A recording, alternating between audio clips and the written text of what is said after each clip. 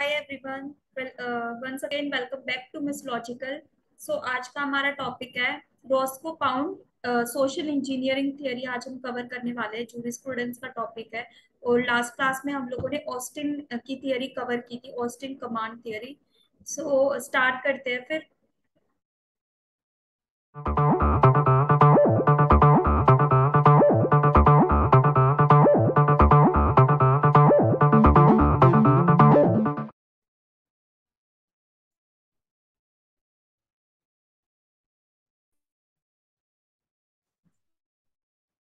So if you can able to see यहाँ पे एक पर्सन की फ़ोटो बनी हुई है। So he is the Roscoe Pound जिन्होंने थियोरी दी है सोशल इंजीनियरिंग थियोरी इन्होंने दी है।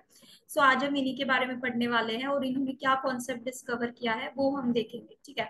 जैसे ऑस्टिन वाले में क्या था ना हम लोगों ने कि ऑस्टिन में क्या क्या uh, कौन से स्कूल से बिलोंग करता था क्या क्या उसका इंट्रोडक्शन वगैरह हिस्ट्री वगैरह सारा पार्ट हमने कवर किया था। तो वैसे ही आज हम रॉस्को पाउंड की थियोरी कवर करेंगे बेसिकली सो so, uh, करते हैं फिर स्टार्ट जल्दी से.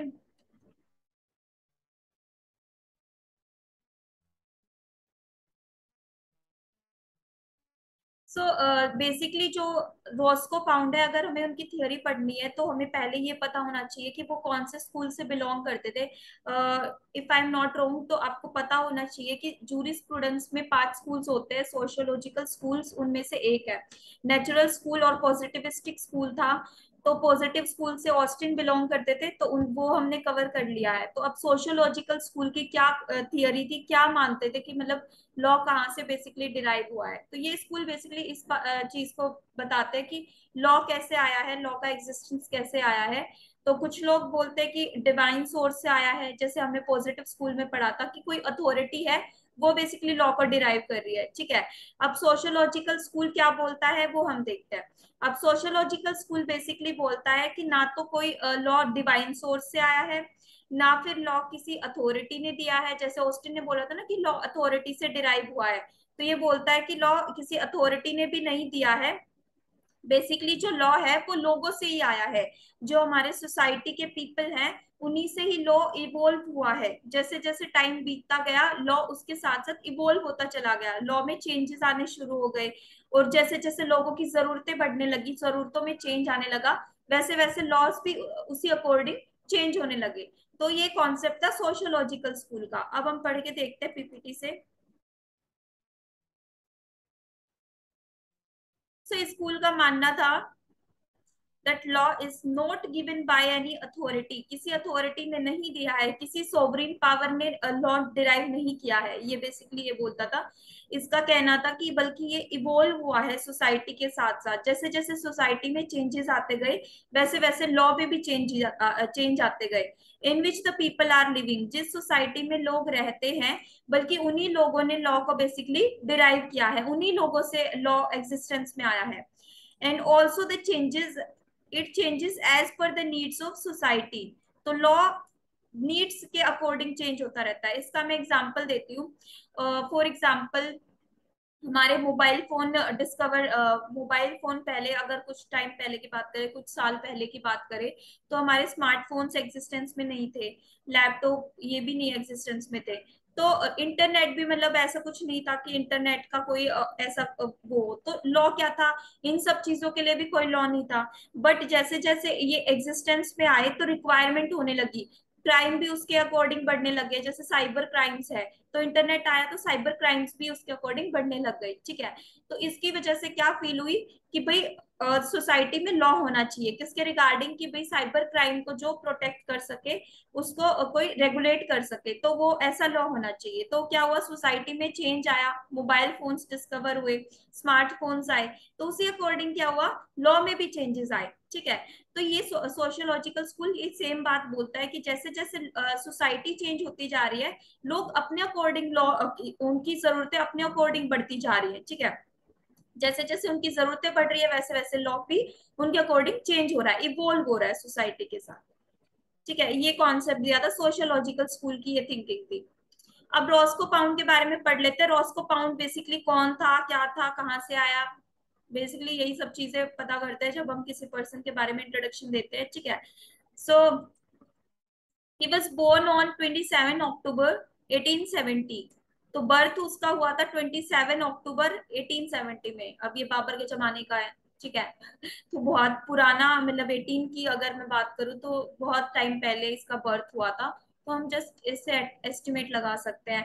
और अगर आपको डेट ऑफ़ बर्थ याद नहीं होती है किसी की तो आप अपनी डेट ऑफ़ बर्थ या फिर कोई आपके फैमिली मेंबर है जिसकी डेट ऑफ़ बर्थ इसमें आती है। फॉर एग्ज़ाम्पल मेरी डेट ऑफ़ बर्थ अगर मैं बोलूँ तो अट्ठाईस अक्टूबर होती है।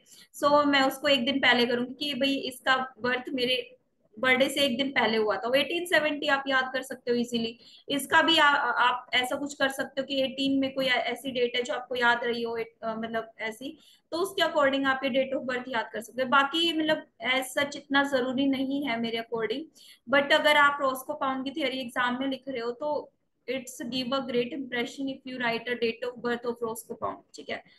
सो सेकेंड चीज़ आती है कहाँ हुआ था इसका बर्थ लिंकन नेब्रास्का में हुआ था। So he was born on 27 October 1870 in Lincoln Nebraska so उसको डिग्री मिली थी बैचलर ऑफ़ आर्ट्स बी किया था उसने? बोटेनी में। ठीक है, ये चीज़ भी आप याद कर सकते हो। बाकी जो उसकी मेन वो है ना मेन पॉइंट है उसकी राइटिंग्स वो एक राइटर था तो राइटिंग्स उसकी थी the spirit of common law उसने लिखी थी, जो कि लिखी थी 1921 में। ठीक है स्पिरिट ऑफ़ कॉमन लॉ लिखी थी 1921 में। Then introduction of philosophy of law लिखी थी 1922 में। तो इसकी ये दो मेजर राइटिंग्स थी जो आप याद कर सकते हो। So we will highlight that particular point basic बहुत अच्छा तरीका होता है इन सब चीज़ों को याद करने का। एग्ज़ाम से पहले आप पूरा नहीं पढ़ के जाओगे। सो so, uh, पढ़ के भी गए तो आपका टाइम वेस्ट होगा। तो बेसिक अच्छी चीज़ ये है कि आप जो चीज़ आपको रिमेम्बर रखनी है, याद रखनी है, जैसे डेट ऑफ़ बर्थ हमें याद रखनी है तो अगर इतना भी देख लोगे लाइन खुद ब खुद कंप्लीट हो जाएगी, आपको पता चल जाएगा कि भाई ये बर्थ लिख रखी है, कहाँ बर्थ हुआ था, इसका प्लेस क्या था लिंकन नेब्रास्का में। ये ना ट्रिक होती है नोट्स बनाने की। Whenever you are preparing notes of any subject तो आप सारी चीज़ें क्लम्सी मत करो, ठीक है? एज इट इज़ बुक में लिख रखा as it is ditto copy paste कर दिया इट्स नॉट नोट्स नोट्स का मतलब ये होता है कि आप अपनी अंडरस्टैंडिंग में उस चीज़ को कवर कर रहे हो, ठीक है? आपकी जो अंडरस्टैंडिंग है, आप उसके अकॉर्डिंग लिखो, जो चीज़ आपको समझ आ जाए एग्ज़ाम टाइम में। हाईलाइट करो एक एक चीज़ को, ठीक है? ऐसा भी नहीं कि आप पूरा पेज ही हाईलाइट कर दो ताकि पूरा पेज ही पढ़ना पड़ जाए, ऐसा भी नहीं होना चाहिए। जिस मेन मेन पॉइंट्स हाईलाइट कर सकते हो। यहाँ पे आप कर सकते हो बीए करा था इसने बोटेनी में, ठीक है? इसको लाइट हाईलाइट करो। इसको ज़्यादा मत करो क्योंकि इतना मतलब वो नहीं है, ठीक है? मेन जो चीज़ ज़्यादा हाईलाइट उसको करो जो आपको मतलब ये होता है कि मुझे लिखनी लिखनी है एग्ज़ाम में, मुझे ये चीज़ लिखनी है, ज़रूरी है, ठीक है? जैसे राइटिंग्स आप लिख के आ सकते हो, ये ज़रूरी होती है राइटिंग्स इसकी। मान लो अगर आपको दोनों राइटिंग बाई चांस याद नहीं रहती तो आप स्पिरिट ऑफ़ कॉमन लॉ भी लिख सकते हो उसकी बुक ठीक है? 1920 में 1921 में लिखी थी। ये तो इजीली याद हो जाएगा 1921 था, फिर 1922 मतलब एक साल बाद इसने दूसरी बुक लिख दी थी। तो दोनों याद नहीं रहती है, फिर भी आप स्पिरिट ऑफ़ कॉमन लॉ कर सकते हो, ठीक है? इसको ऐसे याद कर सकते हो कॉमन लॉ की आत्मा। Next introduction of philosophy of law philosophy झाड़ी थी इसने, ऐसे करके याद कर सकते हो उसको, ठीक है? He was the biggest proponent of sociological school sociological school का सबसे बड़ा प्रोपोनेंट था ये। रोस्को पाउंड ठीक है? तो वैसे तो और भी बहुत सारे प्रोपोनेंट्स थे लेकिन ये मेन प्रोपोनेंट रोस्को पाउंड ही था उस थियोरी का सोशियोलॉजिकल का जिसने सोशल इंजीनियरिंग नाम की थियोरी दी थी। सो so, यहाँ पे दे रखी है थियोरी दी थी उसने ये भी इंपॉर्टेंट है। You just highlight that particular point main तो यही है इसमें सोशल सोशल इंजीनियरिंग नाम की थियोरी दी थी इसने। और प्रोपोनेंट किसका था ये? सोशियोलॉजिकल स्कूल का प्रोपोनेंट था। तो इसने क्या किया था बेसिकली इस थियरी को समझाने के लिए इसने दो लोगों के वर्क को सिमिलैरिटी ड्रॉ करी थी। इसने जो लॉ मेकर्स हैं लॉ मेकर्स आप बोल सकते हो लॉयर्स हैं लॉयर्स के वर्क को इंजीनियर के वर्क से कंपेयर किया था इसने। इंजीनियर जैसे काम करते हैं लॉयर्स भी उसके अकॉर्डिंग काम करते हैं। तो इसने सिमिलैरिटी ड्रॉ करी थी लॉयर के बीच में और इंजीनियर के बीच में। सो so, आपको पूरा लाइन करने की ज़रूरत नहीं है। You just highlight that lawyer and engineer इसी से आपको याद आ जाना चाहिए कि भाई सिमिलैरिटी ड्रॉ करी थी उनके वर्क के बीच में। ठीक है? नेक्स्ट स्लाइड पे आते हैं। अब थियोरी ऑफ़ सोशल इंजीनियरिंग क्या थी, वो हम पढ़ते हैं। इसमें आपको जो समझने जैसा है बाकी हाईलाइट करने जैसा होगा तो आई विल टेल यू तो सोशल इंजीनियरिंग बेसिक क्या होता है, मैं आपको सिंपल लैंग्वेज में बताती हूँ, ठीक है? सोशल इंजीनियरिंग आप क्या बोलते हो कि इंसान है, कोई भी पर्सन है, ठीक है? वो सेम सोसाइटी में पैदा होता है। उसी सोसाइटी में उसकी डेथ हो जाती है। तो उस सोसाइटी के अंदर उसको रहने के लिए जो डेथ से लेके बर्थ तक का टाइम पीरियड होता है, वो मेन इंपॉर्टेंट होता है, ठीक है? डेथ और बर्थ सबकी कॉमन होती है है ना? तो इंसान को उस टाइम पीरियड के दौरान बहुत सारी नीड्स होती है, बहुत सारी रिक्वायरमेंट होती है। तो उन रिक्वायरमेंट्स को वो इंसान कैसे फुलफिल करता है तो ये चीज़ आपकी क्या बताती है? सोशल इंजीनियरिंग की थियोरी बताती है कि उसकी जरूरतें कैसे, उसकी मतलब हम लोग ऐसा भी नहीं कर सकते। कि मतलब मैं सोचती रहूँ, मुझे ये चाहिए, मुझे वो चाहिए, के बाद एक मतलब फरमाइश हो, वो भी नहीं हो सकता। ऐसे क्या होगा कि हमने इकोनॉमिक्स में एक कॉन्सेप्ट पढ़ते हैं कि जो ह्यूमन बॉन्ड्स आर अनलिमिटेड लेकिन रिसोर्सेज उसके लिए क्या है? स्केयर्स हैं, ठीक है? इकोनॉमिक्स में कॉन्सेप्ट होता है स्केरसिटी ऑफ़ रिसोर्सेज ठीक है? तो वो यहाँ भी अप्लाई होता है सोशल इंजीनियरिंग की थियोरी में कि ह्यूमन वॉन्ट्स हमारी क्या है? अनलिमिटेड ह्यूमन वॉन्ट्स है हमारी। लेकिन हमारी जो उनके लिए लॉस है, उनके लिए जो हमारी रिसोर्सेज है, वो लिमिटेड अमाउंट में है, जो हमारी बॉन्ड्स को फुलफिल नहीं कर सकते। क्योंकि ह्यूमन का नेचर ही ऐसा होता है, अगर उसकी एक बॉन्ड सेटिस्फाई कर दी ना तो उसके बाद वो अलग अलग जरूरतें बोलता ही रहेगा। जैसे अगर मैं बोलू, आज मुझे, चलो थोड़ा सा फूडी आइटम फूडी एग्ज़ाम्पल ले लेते हैं। सो so, uh, जैसे मैं बोलूँ मुझे पिज्जा खाना है ठीक है? तो एक पिज्जा मैंने खा लिया कल उसके बाद मैं फिर से सोचूँगी यार मैंने कल पिज्जा खाया था अब फिर से एक और पिज्जा मिल जाए ठीक है? तो वो क्या बोलते हैं? लालच होता जाता है। तो लालच ही क्या करता है? हमारी अनलिमिटेड बॉन्ड्स को बर्थ देता है ठीक है? लेकिन अनलिमिटेड बॉन्ड्स है रिसोर्सेज तो कम है हमारे पास तो उनको कोप करने के लिए उन रिसोर्सेज को और उन नीड्स को मैनेज करने के लिए उनके ताकि लो, लोगों की इंट, उसमें इंटरेस्ट में कॉन्फ्लिक्ट ना हो। कॉन्फ्लिक्ट कैसे? या तो जरूरतें ज़्यादा हो गई रिसोर्सेज कम हो गए या फिर रिसोर्सेज ज़्यादा हो गए जरूरतें कम हो गई। तो उनके कॉन्फ्लिक्ट को दूर करने के लिए बैलेंस बनाने के लिए उस चीज़ में दोनों चीज़ों में तो ये थियोरी दी थी सोशल इंजीनियरिंग रॉस्को पाउंड में ठीक है? ये आपका बेसिक कॉन्सेप्ट था जो मैंने समझाया पीपीटी की हेल्प से पढ़ते हैं। अब सेम चीज़ इसमें लिखी हुई है, मैं आपको पढ़ के बता देती हूँ। If you have any doubt you can ask in the comment box I will tell you so ये बोलता है man is a social animal इंसान क्या होता है? सामाजिक प्राणी होता है। सामाजिक प्राणी जीव बोला गया है इसको। सामाजिक प्राणी क्यों होता है? क्योंकि he lives in the society society में रहता है and dies in the same society और उसी सोसाइटी में वो मर जाता है। ठीक है, टपक जाता है बोलती हूँ। So he need society for his living तो उसको सोसाइटी की ज़रूरत होती है ज़िंदा रहने के लिए वर्किंग काम करने के लिए। देखो लिविंग के लिए क्यों ज़रूरत होती है भाई? उसको ज़िंदा रहने के लिए खाना भी कौन देती है? सोसाइटी देती है। आप, आपका आसपास के जो रिसोर्सेज होते हैं, उन्हीं से खाना मिलता है। वर्किंग के लिए भी सोसाइटी की ज़रूरत होती है। जैसे आप किसके पास काम करोगे? कोई ना कोई होना चाहिए ना जो आप काम पे रखे, तभी तो आपको एम्प्लॉयमेंट मिलेगी। इंजॉइंग लाइफ लाइफ को एंजॉय करने के लिए भी सोसाइटी की ज़रूरत होती है। अगर आप अपनी फैमिली की बात करो तो वो क्या है? ऑटोमेटिकली सोसाइटी है। अगर आप अकेले पड़े रहो एक रूम में, कैसे इंजॉय करोगे? एक दिन के लिए इंजॉय करोगे दो तीन दिन बाद बोर हो जाओगे खुद ही। चाहे आप कितना भी सेल्फ सेंटर्ड क्यों ना हो, कभी ना कभी आपको फील होगा कि मेरे साथ कोई होना चाहिए या फिर कोई दूसरा पर्सन हो जिसके साथ मैं अपनी बातें शेयर कर सकूँ, ठीक है? तो इंजॉय लाइफ को इंजॉय करने के लिए भी उसको किसकी ज़रूरत होती है? लोगों की ज़रूरत होती है सोसाइटी की ज़रूरत होती है। अपनी नीड्स को फुलफिल करने के लिए भी, चाहे वो सोशल नीड्स हो सोशल नीड्स कैसे फुलफिल होती है? अगर आप एक रूम में दुबक के बैठे रहो, पूरा दिन ऐसे करके, मुझे किसी से बात नहीं करनी, मुझे किसी को नहीं देखना ऐसे करके तो वो क्या है? सोशल नीड सेटिस्फाई नहीं हो रही आपकी। सोशल नीड कैसे सेटिस्फाई होगी? आपको कोई पेन हुआ है, आपको कोई तकलीफ़ है, आप जब तक दूसरों को नहीं बता देते दूसरों के कान में बक बक नहीं कर देते, तब तक आपको सेटिस्फेक्शन नहीं मिलता। That is the social needs फिर आगे आगे पीछे की चुगली भी करोगे, भाई इसने क्या कर दिया? इसने कहा से? अरे यार, ये नई पर्स लेके आई। तो इस तरीके की जो होते हैं, वो सोशल नीड्स में आते हैं। Next is economical needs if you living in the society then you also having some economical needs पैसे पैसे कहाँ से आएँगे? पैसे पेड़ से तो नहीं आएँगे, पेड़ नहीं हो रहा होता पैसे का तो वो पैसे कहाँ से आते हैं ऑटोमेटिकली आपके? सोसाइटी से आते हैं। सोसाइटी में आप काम करते हो सोसाइटी में बिज़नेस एस्टेब्लिश करते हो सो, सोल प्रोपराइटर है कंपनी है जो भी आपके इकोनॉमिक सोर्स तो वो इकोनॉमिक एक्टिविटी किसमें करते हो? सोसाइटी में करते हो। उसी से रिसोर्सेज लेते हो आप सारे। नेक्स्ट आपकी पर्सनल नीड्स भी उसी से सेटिस्फाई होती है। ठीक है सोसाइटी से ही सेटिस्फाई होती है। सो so, इसमें आपकी फैमिली मेंबर्स वगैरह आ जाएँगे पर्सनल नीड्स में या फिर आप बोल सकते हो रेप्यूटेशन आपकी जो आपकी इंडिविजुअल पर्सनैलिटी से बिलोंग करती है। तो ये नीड्स ना हम लोग डिटेल में पढ़ेंगे। अभी इसने बाइफर्केशन कर रखा है वो हम डिटेल में पढ़ने वाले हैं। ठीक है so don't worry so reasoning behind this theory आई क्यों थी ये थियरी भाई मैंने बताया ना कि रिसोर्सेज ज़्यादा हो जाए या फिर नीड्स ज़्यादा हो जाए तो ऐसे क्या हो जाएगा? कॉन्फ्लिक्ट ऑफ़ इंटरेस्ट क्रिएट हो जाएगा। Need to adopt this theory was conflict of interest of individuals individuals का जो इंटरेस्ट है उसमें मतभेद नहीं होना चाहिए। मतभेद कैसे? कि भाई आप एक इंसान के इंटरेस्ट को प्रियोरिटी दे रहे हो, उसकी सारी जरूरतों को पूरा कर रहे हो, उसकी सारी वांट से बिना कान मतलब आँख बंद करके सुन रहे हो सारी चीज़ों को। ऐसा नहीं होना चाहिए। हर पर्सन की नीड्स को ध्यान में रखते हुए हर पर्सन का इंटरेस्ट सेटिस्फाई हो, ये इस थियोरी का मेन ऑब्जेक्टिव था। ठीक है? सो आई होप आपको क्लियर होगी ये चीज़।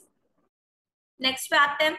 सोशल और इंजीनियरिंग सोशल इंजीनियरिंग थियोरी दो वर्ड से मिलकर बनी है सोशल प्लस इंजीनियरिंग अब सोशल का मतलब क्या होता है और इंजीनियरिंग का मतलब क्या होता है? लेट लेट्स अंडरस्टैंड ठीक है? सो सोशल का मतलब होता है you know very well group of individuals forming society जो लोग सोसाइटी में रहते हैं, उसको हम सोशल बोलते हैं। ठीक है? कि भाई वो सारे पर्सन क्या है? सोशल है, सामाजिक है। समाज हमारा जो होता है। नेक्स्ट बोलता है इंजीनियरिंग क्या होता है? इंजीनियरिंग के बारे में बोलता है कि इसने इंजीनियरिंग का रोल यानी इंजीनियरिंग से आपको वर्ड क्या ध्यान में आ रहा है? इंजीनियर। अब आप सोच रहे होगे कि भाई यार ये इंजीनियर वर्ड कैसे कंपेयर कर दिया लॉयर्स कहाँ? इंजीनियर कहाँ? मतलब क्या? कैसे उनका वर्क कंपेयर हो सकता है? सो रॉस्को पाउंड ने ऐसा किया है। तो मैं बताती हूँ कैसे किया है। तो ये बोलता है कि भाई इंजीनियर जैसे आ, कोई भी मतलब उनको बिल्डिंग बनानी हो कोई भी मतलब कोई भी चीज़ उनको बिल्ड करनी होती है तो वो सबसे पहले क्या करते हैं? उसका एक फ्रेमवर्क रेडी करते हैं प्लान रेडी करते हैं, ठीक है? या फिर आप उसको बोल सकते हो कि कोई ना कोई ड्राफ्ट रेडी करते हैं फ्रेमवर्क रेडी करते हैं उस चीज़ का, ठीक है? तो उसी तरीके से क्या है? लॉयर्स भी क्या करते हैं? पहले सोसाइटी की अपलिफ्टमेंट में मदद करते हैं प्लानिंग करके, सारी चीज़ों का फ्रेमवर्क रेडी करके, जैसे कि कौन करता है? इंजीनियर करते हैं। तो इस तरीके से उनके वर्क के बीच में क्या निकाली गई है? यहाँ पे सिमिलैरिटी निकाली गई है। वो इंजीनियरिंग भी ऑटोमेटिकली क्या बनाते हैं? घर बनाते हैं सोसाइटी बनाते हैं सोसाइटी क्रिएट करते हैं इंजीनियर उसी तरीके से जो लॉयर्स है, वो भी क्या क्रिएट करते हैं? सोसाइटी को ग्रो करने में मदद करते हैं। जो उन्होंने सोसाइटी बनाई है, उसको ग्रो डेवलप करने में मदद करते हैं। ठीक है? So he explains this concept by explaining the role of engineering uh, with the lawyers.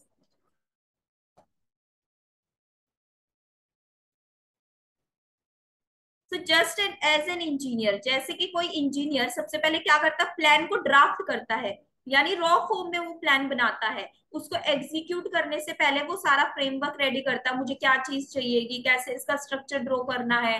मतलब सारी चीज़ें वो ध्यान में रखता हुआ करना है। स्केल क्या होना चाहिए? एवरीथिंग ठीक है? So I am not an engineer so I don't know how to do बस मैं आपको समझा सकती हूँ कि ऐसा ऐसा होता है ठीक है? So you can go through it don't जज मी अगर मैं कुछ गलत बोल रही हूँ तो इंजीनियर का। सो इंजीनियर ड्राफ्ट से plan before starting a project कोई भी प्रोजेक्ट स्टार्ट uh, करने से पहले वो सबसे पहले क्या करता है? डिज़ाइन करता है ठीक है?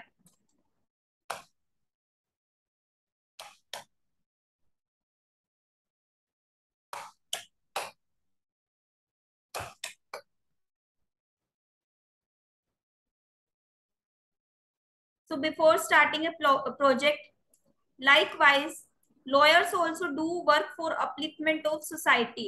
Lawyers भी क्या करते हैं? सोसाइटी के अपलिफ्टमेंट के लिए ही वर्क करते हैं ठीक है?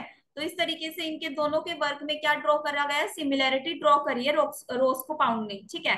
अब कुछ लोग इसको रस, रस्की पाउंड भी बोलते हैं whatever you can speak you just pronounce it all things are okay Roscoe Pound basically मैं भी रस्की पाउंड ही बोलती थी इसको पहले बट रॉस्को पाउंड एग्जैक्ट है इसकी pronunciation so Roscoe Pound describes work of modern world as social engineering की जो आज का मॉडर्न वर्ल्ड का जो वर्क है, वो किसकी तरह है? सोशल इंजीनियरिंग की तरह है। वो कैसे है? अभी आगे पता चलता है ये। सोशल इंजीनियरिंग के बारे में इसने बता रखा है। सोशल इंजीनियरिंग बेसिकली क्या होता है? So it refers to balance of competing interest in society जैसे जैसे लोग बढ़ते जा रहे हैं लोगों की जरूरतें भी बढ़ती जा रही हैं ठीक है? एम आई करेक्ट और एम आई रोंग तो यू जस्ट टेल मी कि जैसे जैसे लोग बढ़ रहे हैं वैसे वैसे लोगों के इंटरेस्ट भी बढ़ रहे हैं उनकी जरूरतें बढ़ रही है ठीक है? सो so, तो उनके इंटरेस्ट को सोसाइटी के लोगों के इंटरेस्ट को मैनेज करने के लिए बैलेंस करने के लिए कंपीटिंग इंटरेस्ट को बैलेंस करने के लिए क्या करते हैं? सोशल इंजीनियरिंग थियरी आई है। सोशल इंजीनियरिंग थियरी को इंट्रोड्यूस किया गया। मैंने बताया ना वो रिसोर्सेज वाला example human wants are unlimited but resources are limited in nature ठीक है?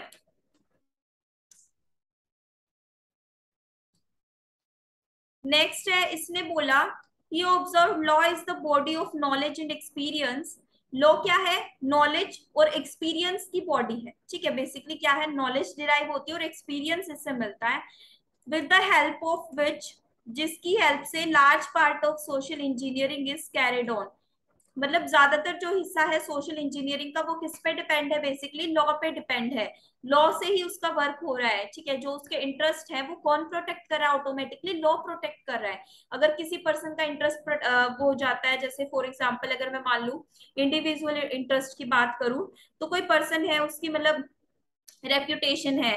वो मतलब कोई पर्सन दूसरा पर्सन उसकी रेप्यूटेशन को हार्म करता है तो उसकी रेप्यूटेशन को कौन बचाता है ऑटोमेटिकली रेप्यूटेशन का होता है डिफेमेशन ठीक है? डिफेमेशन का जो होता है प्रोविज़न तो वो किसको बचाता है? ऑटोमेटिकली पर्सन की रेप्यूटेशन को प्रोटेक्ट करता है। जो किसी पर्सन दूसरे पर्सन की रेप्यूटेशन को हार्म करता है लॉस पहुंचाता है तो लॉ उसे क्या करता है? पनिश करता है, ठीक है? तो बेसिकली क्या है ये? कंपनसेशन प्रोवाइड करता है। ये बेसिकली जो आपका डिफेमेशन का कॉन्सेप्ट है, ये आईपीसी में भी आता है और आपका इसमें टोर्ट्स में भी आता है लॉ ऑफ़ टोर्ट्स में। टोर्ट्स में आपको क्या मिलेगा? कंपनसेशन मिलेगा और आईपीसी में आपको पनिशमेंट मिलेगी, ठीक है? सो कंपनसेशन बेसिकली प्लेंटिव को मिलता है और डिफेंडेंट को क्या मिलती है? पनिशमेंट मिलती है आईपीसी के under so it is more than a body of rules body of rule से ये कहीं ज़्यादा है, ठीक है? तो आई होप आप समझ गए होंगे कि क्या करता है, ये एक्सपीरियंस और नॉलेज जो ज़्यादातर पार्ट है सोशल इंजीनियरिंग का, वो लॉ की हेल्प से कैरी हुआ है, क्योंकि लॉ क्या प्रोवाइड करता है? मतलब किसी के इंटरेस्ट को बेसिकली प्रोटेक्ट करता है। जो भी इंटरेस्ट इसने बता रखे हैं रोज को पाउंड नेक्स्ट लाइन में हम लोग कवर करेंगे।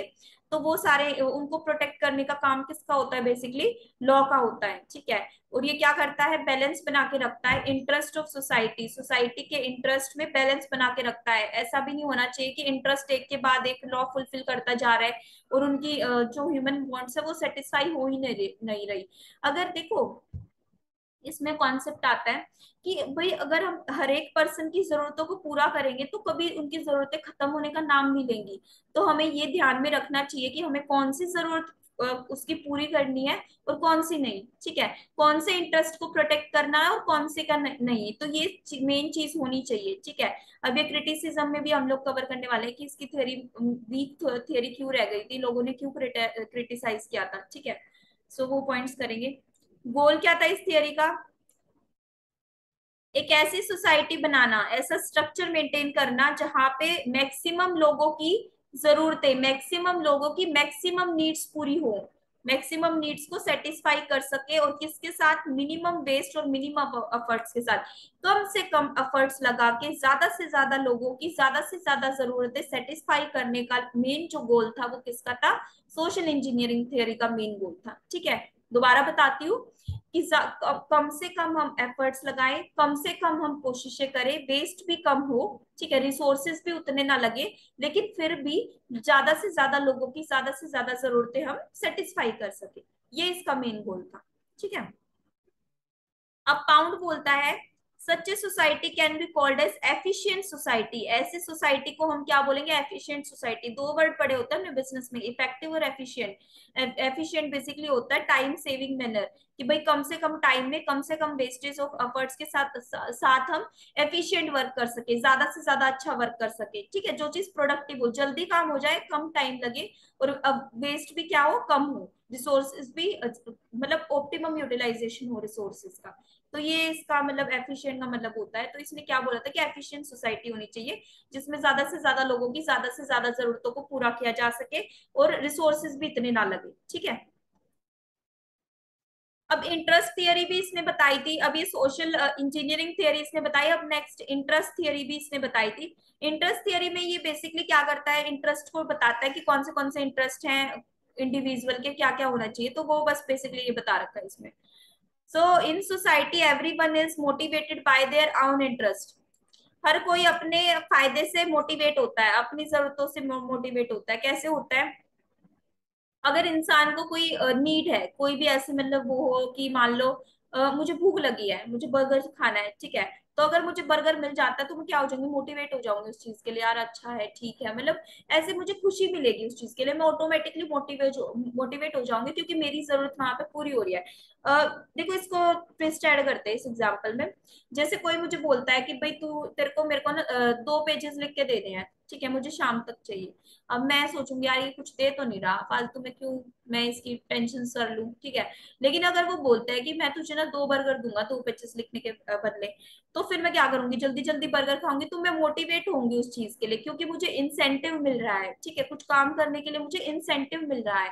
ठीक है तो वो क्या है, मेरी ज़रूरत भी पूरी हो रही है, क्योंकि मुझे भूख लगी थी। ठीक है, और उसके साथ साथ दूसरे पर्सन का भी काम हो रहा है। ठीक है तो वो क्या है हर कोई इंसान अपने इंटरेस्ट से ही मोटिवेटेड रहता है। जहाँ उसकी ज़रूरत पूरी हो गई, वो ऑटोमेटिकली वही सेटिस्फाई हो जाता है। In wants that preference is to be given to his or his or her interest over the other हर कोई बंदा ये चाहता है भाई उसको सबसे अच्छा ट्रीटमेंट मिले।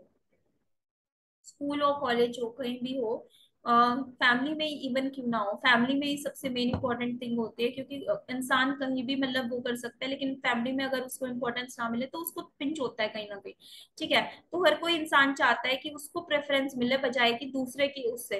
ठीक है? दूसरे मतलब वो बोलते हैं ना कि खुद का भला हो जाए उससे कोई खुश नहीं होता। दूसरों का लॉस हो जाए, उससे मतलब ज़्यादा खुशी मिलती है। तो चाहते हैं कि भाई उसके इंटरेस्ट को प्रियोरिटी ना मिले, दूसरे बंदे के इंटरेस्ट को प्रियोरिटी देने के बजाय आपके इंटरेस्ट को ज़्यादा प्रियोरिटी मिले। हर हर कोई इंसान ये चाहता है। It's a human nature so ये इसकी इंटरेस्ट थियरी की इसमें स्टार्टिंग में बोला है इसमें अब conflict between interest arises because of competition of individual with each other अब जैसे जैसे कॉम्पिटिशन बढ़ता जा रहा है ये बाई नहीं आएगा। इट्स बाई मिस्टेक यहाँ पे लग गया ये। यू कैन रिमूव इट तो कॉन्फ्लिक्ट बिटवीन इंटरेस्ट इंटरेस्ट के बीच में, हर किसी की जरूरतों के बीच में मतभेद होना, झगड़ा होना, वो क्यों होता है? क्योंकि कंपटीशन बढ़ता जा रहा है। इंडिविजुअल्स के बीच में कंपटीशन अराइज हो गया है। ठीक है? अब लोगों को अपना कहीं ना कहीं एग्जिस्ट करने के लिए कंपटीशन फेस करना ही पड़ता है। अगर आप कहीं भी जाओगे, जैसे एडमिशन लेना है आपको तो वहाँ भी आपको कंपटीशन होगा। तो आप क्या करोगे? उनके आप चाहोगे ना, भाई मेरे इंटरेस्ट को ज़्यादा प्रायोरिटी मिले, मेरा फ़ायदा हो दूसरे का फ़ायदा ना हो। ठीक है, अगर कंपटीशन ना हो तो आप सोचोगे यार चलो ठीक है, इनका भी क्लियर हो जाए, मेरा क्या जाता है? लेकिन अगर ये हो ना कंपटीशन हो, भाई इनकी वजह से मेरा भी कुछ ना कुछ नुकसान हो सकता है तो आप वहाँ क्या चाहोगे कि मेरे इंटरेस्ट को ज़्यादा प्रियोरिटी मिले as compare to other person ठीक है? तो कॉन्फ्लिक्ट का मेन रीजन क्या है? बढ़ने का कि इंटरेस्ट कंपटीशन बढ़ता जा रहा है। So due to that, legal system had to recognize certain interest and defines the limit within which such interest and are legally recognized. तो इसके मेन रीजन क्या है कि लीगल सिस्टम को भी अपने इंटरेस्ट कुछ ना कुछ रिकॉग्नाइज करने पड़ेंगे। अब भाई ऐसा तो नहीं है कि लॉ सबके इंटरेस्ट को फुलफिल कर देगा या फिर सबके इंटरेस्ट का ध्यान रखेगा है ना? तो ऐसा नहीं हो सकता क्योंकि ह्यूमन क्या है? इंटरेस्ट अगर एक पूरा हो उसको दूसरा मतलब ज़रूरत पड़ेगी ठीक है? So, defines the limit within which such interests are legally recognized. तो ये वो लिमिट डिफाइन करता है कि भाई किस हद तक आपका इंटरेस्ट अगर अफेक्ट होता है तो लॉ एक्शन लेगा, ठीक है? लॉ में आप एक्शन ले सकते हो लॉ की हेल्प ले सकते हो। तो आपका कहाँ तक इंटरेस्ट अफेक्ट हुआ है तब आप ले सकते हो और कहाँ तक नहीं हुआ है तब आप नहीं ले सकते। ठीक है, ये चीज़ क्या करा? लॉ ने रिकोगनाइज कर दिया। भाई, अगर अब अंधाधुंध सारी चीज़ें होती, भाई, कोई भी इंटरेस्ट हो, कैसा भी हो तो हर कोई ना मतलब मेरा पेन ले लिया, मेरी पेंसिल ले ली ऐसे ऐसे चीज़ों के लिए कोर्ट में भागता लॉ को अप्रोच करता। तो इसीलिए क्या बोला इसने कि भाई इंटरेस्ट ऐसा होना चाहिए जिसको लॉ ने रिकॉग्नाइज कर रखा हो। लॉ ने किसी का पेन लेने के लिए रिकॉग्नाइज नहीं कर रखा। कोई किसी का पेन ले जाता है, एक पेन चोरी कर लेता है ही कैन कंप्लेन बट इतना भी मतलब अगर कॉस्टली नहीं है, दो रुपए के पेन के लिए अदरवाइज़ सब लोग भागते घूमते, ठीक है? So finally various interest should be secure तो इसीलिए सारे के सारे इंटरेस्ट सिक्योर मतलब होने नहीं चाहिए, बल्कि कौन से होने चाहिए जिन्होंने जिनको लॉ ने रिकॉग्नाइज किया है। सिर्फ़ वही इंटरेस्ट हमारे सिक्योर होने चाहिए। लॉ सिर्फ़ उन्हीं इंटरेस्ट को सिक्योर करता है, ठीक है? अब इंटरेस्ट कौन से कौन से होते हैं? ये बेसिकली इंटरेस्ट लिखा हुआ है if you are not able to understand it तो इंटरेस्ट में इसने बोला है फ़र्स्ट इंटरेस्ट हमारा है इंडिविजुअल इंटरेस्ट अब रोस्को पाउंड ने तीन इंटरेस्ट को बेसिकली आइडेंटिफाई किया है। एक तो होता है पर्सन का खुद का इंडिविजुअल इंटरेस्ट दूसरा होता है पूरी पब्लिक का इंटरेस्ट जहाँ पे एक से ज़्यादा लोग मिले होते हैं, वो पब्लिक इंटरेस्ट बोलते हैं। नेक्स्ट होता है आपका सोशल इंटरेस्ट ठीक है तीन टाइप के इंटरेस्ट को क्लासिफाई किया है रोस्को ने।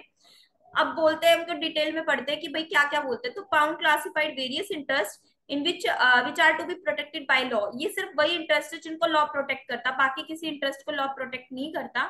सिर्फ़ ये, uh, ये तीन इंटरेस्ट है जिनको लॉ प्रोटेक्ट करता अकॉर्डिंग टू द पाउंड ठीक है? सो इंडिविजुअल इंटरेस्ट कौन से इंटरेस्ट होते हैं? ये वो इंटरेस्ट होते हैं जो इंडिविजुअल के खुद से जुड़े होते हैं। उसके मामा, ताया, फूफा, इन सब चीज़ों से नहीं जुड़े होते, मम्मी, पापा से भी जुड़े नहीं होते, जो उसकी खुद की पर्सनैलिटी से जुड़े होते हैं। वो इंटरेस्ट किसमें आते हैं? इंडिविजुअल इंटरेस्ट में आते हैं। एक चीज़ होती है ना परसोना परसोना आपकी पर्सनैलिटी जो होती है परसोना डिराइव हुआ पर्सनैलिटी वर्ड से तो उसको प्रोटेक्ट करने का काम करता है। इस इंटरेस्ट में आपके आते हैं आपका, खुद का कंफर्ट आपका खुद का कंफर्ट कहीं ना कहीं आपका वॉयलेट हो रहा है। जैसे इसका बेस्ट एग्जांपल है तो नॉइसेंस या फिर ट्रेस पास ठीक है? नॉइसेंस में क्या है? आपका इंटरेस्ट अफेक्ट हो रहा है, ठीक है? नॉइसेंस यानी कोई ऐसा पर्सन है जो आपको डिस्टरबेंस क्रिएट कर रहा है, जिसकी वजह से आप इफ़ेक्ट हो रहे हैं। नॉइसेंस की मतलब ये इस सेंस में भी ले सकते हो। वैसे तो मोर देन पब्लिक का इंटरेस्ट अफेक्ट होता है नॉइसेंस की वजह से। जैसे लाउड स्पीकर बज रहे हैं, ठीक है? आप अपने घर में पढ़ाई कर रहे हो, ठीक है? तो आपका इंटरेस्ट अफेक्ट हो रहा है तो वो इंडिविजुअल इंटरेस्ट है। खुद की पर्सनैलिटी इफ़ेक्ट हो रही है? आपकी रेप्यूटेशन मैंने बताया ना डिफेमेशन का एग्ज़ाम्पल तो रेप्यूटेशन इफ़ेक्ट हो रही है या फिर कोई आपकी सेल्फ स्टीम सेल्फ एस्टीम है, वो इफ़ेक्ट हो रही है? मतलब जो खुद की, खुद से जुड़े होते हैं ना, ऐसे इंटरेस्ट आपके इंडिविजुअल इंटरेस्ट कवर करता है, ठीक है? यहाँ पर क्या होता है? पर्सोना इन्वॉल्व होता है, किसी भी पर्सन की खुद की आइडेंटिटी या फिर खुद की पर्सनैलिटी इन्वॉल्व होती है। तो that is the individual interest अब नेक्स्ट आते हैं public interest public interest basically क्या होता है? जहाँ पर कोई किसी इंडिविजुअल का खुद का इंटरेस्ट इफ़ेक्ट नहीं हो रखा, बल्कि मोर देन वन पीपल का इंटरेस्ट इफ़ेक्ट हो रहा है। एक से ज़्यादा लोग हैं मतलब लार्ज नंबर ऑफ़ पीपल है, उन सबका इंटरेस्ट इफ़ेक्ट हुआ है तो वो किसमें आता है पब्लिक इंटरेस्ट में आता है। फॉर एग्ज़ाम्पल इसका मैं एग्ज़ाम्पल लेती हूँ कि भाई एक पर्सन है नॉइसेंस का ही बताती हूँ कि उसने क्या किया कि गली के बाहर जहाँ से हर कोई पास होता है, उसने गार्बेज इकट्ठा कर दिया वहाँ पे। मतलब पूरा बड़ा पहाड़ बना रखा है, कोई जा नहीं पा रहा, कोई आ नहीं पा रहा। ठीक है, ऐसा कुछ सिचुएशन हो रखी है। तो वहाँ पे क्या है, पूरी सोसाइटी का इंटरेस्ट अफेक्ट हो रहा है ना वहाँ पे? पब्लिक का इंटरेस्ट अफेक्ट हो रहा है। तो that is the public interest की जिस चीज़ की वजह से पूरी मतलब लार्ज नंबर ऑफ़ पीपल का इंटरेस्ट अफेक्ट हो रहा है या फिर उनको तकलीफ़ हो रही है। ठीक है तो वो होता है आपका पब्लिक इंटरेस्ट ये वो क्लेम्स या फिर वो डिजायर्स होते हैं जो कोई इंडिविजुअल पर इंडिविजुअल पर थोपे जाते हैं। कौन थोपता है? कोई पॉलिटिकल लाइफ थोपते हैं। पॉलिटिकल लाइफ की वजह से एजर्ट किए जाते हैं इंडिविजुअल्स के द्वारा ठीक है। सो so, इसका मतलब होता है कि हर इंडिविजुअल सोसाइटी में हर किसी की, देखो इसको मैं जनरल मैनर में बताती हूँ कि कोई भी पर्सन अगर सोसाइटी में रह रहा है तो उसकी एक ज़िम्मेदारी होती है हर एक दूसरे पर्सन की तरफ़ कि भाई जो चीज़ वो यूज़ करा है, जो पब्लिक के लिए अवेलेबल चीज़ है कि वो इस तरीके से यूज़ करे कि दूसरे भी उसको यूज़ कर पाए। अगर आप क्या कर रहे हो, जैसे इसका मैं एग्ज़ाम्पल लेती हूँ, कोई पब्लिक पार्क है, ठीक है? तो आपका कोई पब्लिक पार्क है, वहाँ पर आप जाकर क्या करते हो कि वहाँ पर मतलब घर बना लेते हो, ठीक है? मतलब या फिर घर बनाना तो बहुत ज़्यादा हो जाता है। आप वहाँ पर पब्लिक पार्क है, आप उसको ना पूरे के पूरे को ना जगह घेर के बैठे हुए हो, ऐसा कुछ कर लेते हो कि भाई सब जगह कवर कर रखी है आपने सारा कुछ, छोटा मान के चलो, ठीक है, वहाँ पर आपने पूरे जगह, सब जगह कुछ गिरा दिया, कुछ गिरा दिया अपनी सब जगह चीज़ें बिखरा रखी है, ठीक है? तो जिसकी वजह से क्या है, दूसरे लोग उसका यूटिलाइजेशन नहीं कर पा रहे, या फिर इसका एग्ज़ाम्पल लेती हूँ, कुआँ है कोई, ठीक है? वेल है आपके विलेज में तो आपने क्या किया, उस वेल के ऊपर, पूरे के पूरे पर कोई कवरिंग लगा दी और आपने बोला कि भाई इसको मैं यूज़ करूँगा, मेरी ओनरशिप है इसके ऊपर। दूसरे पर्सन बोलते हैं कि भाई ये तो पब्लिक है पब्लिक के लिए है ये, सब लोगों के लिए है तो आप क्यों कर रहे हो? ठीक है तो आपकी उस उस पर्सन की रिस्पॉन्सिबिलिटी बनती है कि जो चीज़ पब्लिक के लिए अवेलेबल है, जो सबके यूज़ के लिए, साझा कोई चीज़ होती है तो उसको आप साझा ही रखो। आप उसको इस तरीके से यूज़ करो कि दूसरे भी उसका मतलब कुछ ना कुछ यूटिलाइज कर पाए। ठीक है तो ये इंडिविजुअल की रिस्पॉन्सिबिलिटी होती है। यही चीज़ लिखी हुई है। Every individual in a society has a responsibility towards each other and to make the use of things which are open to public use जो पब्लिक यूज़ के लिए ओपन है तो आप उस चीज़ का अच्छे से यूटिलाइजेशन करो ताकि दूसरे भी उसका यूटिलाइज कर पाए, ठीक है? इसका एग्ज़ाम्पल हो जाएगा interest in preservation of state state का इंटरेस्ट प्रिजर्व करने का ये जो मेन वो है, इसका लॉजिक होता है पब्लिक इंटरेस्ट का. In order to preserve the interest of the state अब नेक्स्ट आता है सोशल इंटरेस्ट सोशल इंटरेस्ट में बेसिकली आपकी सोसाइटी की सोसाइटी से जुड़ा हुआ है कि सोशोलॉजिकल नीड्स क्या होते हैं तो उन तरीके से वो आपको पढ़ते हैं। सो so, ये उन नीड्स को इसमें वो नीड्स और वो डिमांड्स कवर होती है सोसाइटी की। That tends to be fulfilled for the proper functioning and maintenance of it, जो पूरी होनी चाहिए ताकि सोसाइटी का अच्छे तरीके से फ़ंक्शन कर सके और अच्छे तरीके से ये ग्रो हो सके। सोसाइटी से क्या क्या चीज़ें जुड़ी होती है? लोग रहते हैं तो लोगों की क्या क्या बेसिक ज़रूरत होती है? आम ज़रूरत सोसाइटी के लिए क्या है? कि भाई उनको हेल्थ अच्छी हेल्थ फैसिलिटी अच्छी मिले एजुकेशन मिले, ठीक है? या फिर ट्रांसपोर्टेशन हो तो ये क्या है? पब्लिक मतलब सोसाइटी के लिए ये चीज़ें होती है। सोसाइटी की मेन चीज़ गवर्नमेंट क्या देखती है कि हेल्थ अच्छी है एजुकेशन कैसी है वहाँ की, ठीक है? तो इसके अंदर आती है प्रिजर्व करना किसको? शांति को हेल्थ को प्रिजर्व करना सिक्योरिटी किसी की सुरक्षा, ठीक है? भाई, सुरक्षित भी होना चाहिए। रिलीजियस या पॉलिटिकल या इकोनॉमिक इंटरेस्ट है किसी का, उनको भी प्रोटेक्ट कौन करता है? सोशल इंटरेस्ट प्रोटेक्ट करता है, ठीक है? तो मेन चीज़ आती है पीस आता है। हेल्थ आती है, आपकी सेफ्टी आती है रिलीजियस या फिर पॉलिटिकल इकोनॉमिकल इंटरेस्ट ठीक है? ये सारी चीज़ें आपका सोशल इंटरेस्ट कवर करता है। रिलीजियस इंटरेस्ट कैसे प्रोटेक्ट कर सकता है ये? जैसे मंदिर है, ठीक है? तो मंदिर की सही तरीके से होनी चाहिए केयर होनी चाहिए तो वो भी क्या है आपका? सोशल इंटरेस्ट का ही पार्ट है। पॉलिटिकल इंटरेस्ट ये है कि वोट देने का अधिकार सबको है। इकोनॉमिक इंटरेस्ट है कि भाई सबको एम्प्लॉयमेंट मिले। सिक्योरिटी क्या है? सिक्योरिटी का इंटरेस्ट बेसिकली ये है कि भाई सब लोग सेफ़ हों, ठीक है? सबको सुरक्षित सुरक्षित रहने का अधिकार है। कोई भी ऐसा नहीं होना चाहिए कि भाई बाहर निकले या फिर अपने घर में ही सेफ़ फील ना करे। हेल्थ अच्छा होना चाहिए हर हर किसी को मतलब बेटर हेल्थ का अधिकार है, ठीक है? उसको जो भी आपके गवर्नमेंट हॉस्पिटल्स होते हैं, उनको एक्सेस करने का, ठीक है? उनको एक्सेस करने का राइट है। पीस होना चाहिए, सबको शांति से जीने का अधिकार है। कोई भी किसी के सर पे गन गन ना ताने, ठीक है? तो ये क्या है? ये सारे सोशल इंटरेस्ट में कवर होते हैं, जो बेसिकली क्या, किससे जुड़े होते हैं? सोसाइटी से जुड़े होते हैं। सोसाइटी की ज़रूरत से जुड़े होते हैं। नेक्स्ट आता है क्रिटिसिज्म ऑफ़ पाउंड्स थियरी ये लास्ट है आपकी स्लाइड तो बेसिकली जो पाउंड्स की थियरी है, वो यही कंप्लीट होती है। तो इसको ना कुछ लोगों ने, जैसे ऑस्टिन की थियरी को क्रिटिसाइज किया था तो उसी तरीके से पाउंड की थियरी को भी क्रिटिसाइज किया था। तो किस किस बेसिस पे क्रिटिसाइज किया था, वो मैं बताती हूँ। तो भाई कुछ लोगों ने स्कॉलर से बोला, देखो, मैं इसको इजी लैंग्वेज में बताती हूँ। अगर आपको कहीं ना कहीं लग रहा होगा ना ध्यान से सुनी होगी तो आप खुद ही क्रिटिसिज्म ढूंढ सकते हो। कैसे?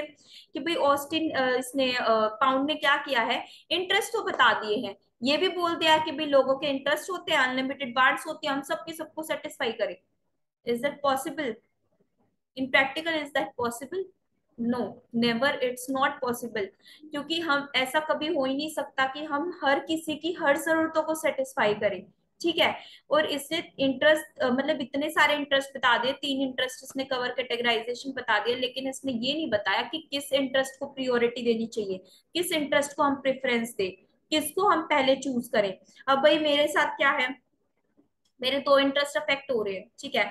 मान लो मेरा इंडिविजुअल इंटरेस्ट है, मेरे डिफेमेशन का भी मतलब मेरी रेप्यूटेशन अफेक्ट हो रही है किसी चीज़ से और मेरी सेफ्टी और हेल्थ ये सारी चीज़ें भी अफेक्ट हो रही है। तो एक मेरी इंडिविजुअल इंटरेस्ट है, एक सोशल इंटरेस्ट है, ठीक है? तो अब मैं किस इंटरेस्ट को प्रियोरिटी दू या फिर लॉ मेकर मेरी किस इंटरेस्ट को प्रियोरिटी देंगे अगर मैं अप्रोच करती हूँ कोर्ट के पास? तो वो इसमें नहीं बताया है, ठीक है? तो उसी पॉइंट के बेसिस पे इसको क्या किया गया? क्रिटिसाइज किया गया।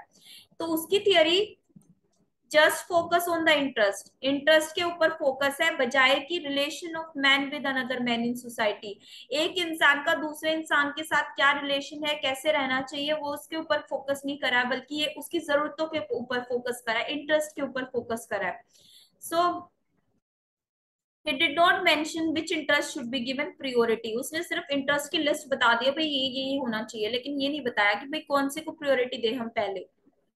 हिज थियरी इज़ पास टू साइंटिफिक एंड मैकेनिकल बहुत ज़्यादा साइंटिफिक और बहुत ज़्यादा मैकेनिकल है क्योंकि उसने लॉयर के काम को इंजीनियर के वर्क से कंपेयर किया है, ठीक है?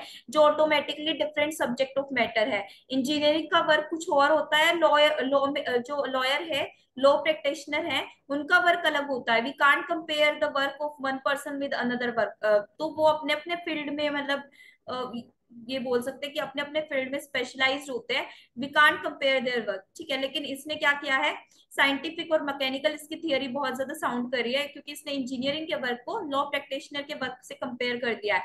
जो कहीं ना कहीं ये हो रहा है कि एक किसी मतलब सोसाइटी की बात नहीं कर रहा, बल्कि एक फैक्ट्री की बात कर रहा है, ठीक है? So especially due to the fact he used the term engineers to denote the law practitioner. Law practitioner को denote करने के लिए इसने किस word का use किया? Engineer word का use किया है. Which almost equated society with some kind of factory. जो सोसाइटी का कंपेरिजन किसी फैक्ट्री से कर रहा है ठीक है तो दोनों ही एस्पेक्ट अपने आप में ही बहुत ज़्यादा डिस्टिंक्ट है so we can't compare it तो यहाँ आपका टॉपिक फिनिश होता है लास्ट में सॉन्ग आता है फिर से डोरेमोन सॉन्ग हमने लास्ट में कवर किया था। बाकी सो so, uh, आपका जो लेटेस्ट सॉन्ग ट्रेंडिंग में है मैं वही सिंग कर देती हूँ। क्योंकि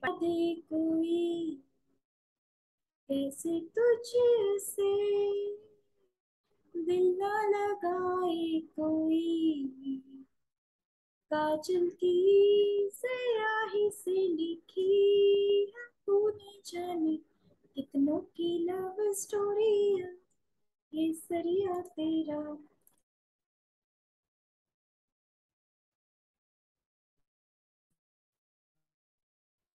मुझे को इतना बताए कोई, कैसे तुझसे दिल ना लगाए कोई। रब्बा ने तुझको बनाने में कर दी है उसने की खाली तिजोरिया। काजल की सयाही से लिखी है तूने जाने कितनों की लव स्टोरिया। केसरिया तेरा इश्क है पिया, रंग जाऊँ जो मैं हाथ लगाऊँ दिन बीते सारा, तेरी फ़िक्र में रहन सारी तेरी खैर मनाऊं। So thank you so much so don't miss the end last तक वीडियो को प्लीज़ ज़रूर देखा करो और if you like my video then do subscribe my channel stay tune with miss logical we will meet again with the next session. Bye bye take care.